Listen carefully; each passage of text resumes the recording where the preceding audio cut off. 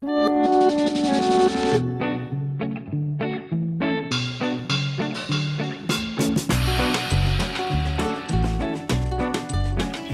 guys, back into the pony room we go.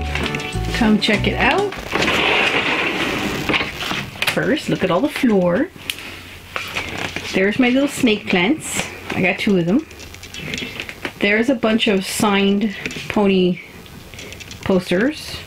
Those are larger pony posters, but not signed. My tripod, my ring light.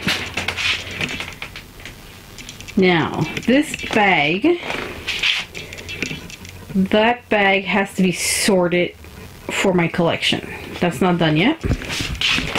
This pile, all those Jem stuff, a million Tokidokis, a Cabbage Patch Pony, this whole stack is all for sale. Most of it's online already, but another quarter of it it's not. It's all like Tokidokis, Jem and holograms. I have a whole Jem and holograms collection for sale. It's all going. This stack here, these paintings and stuffies, as well as all these here, and this stack. This is all for the Canadian Pony Collectors Extravaganza, which is a pony convention that I run for Canada. We're pending a date, possibly this year if all goes well, but it's not guaranteed with the way the world is. This huge stack, all the way up here, this is all HQ G1C Canada ponies for high quality G1 customs. I am the Canadian distributor for them.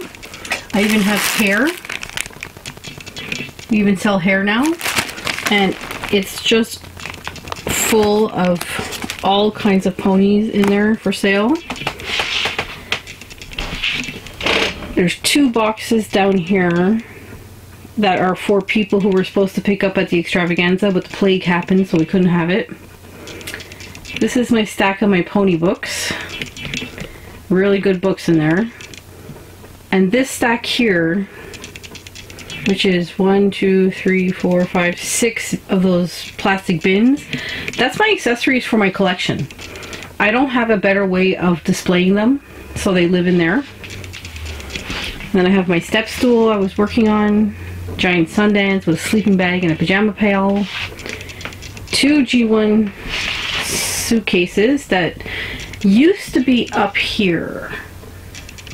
They were up there, but I changed it around up there and I put my pretty pony stuff in the box up there and a tea set I have because they used to be in this shelf, the pretty ponies, but I put a what do you call that? I put customs there for now.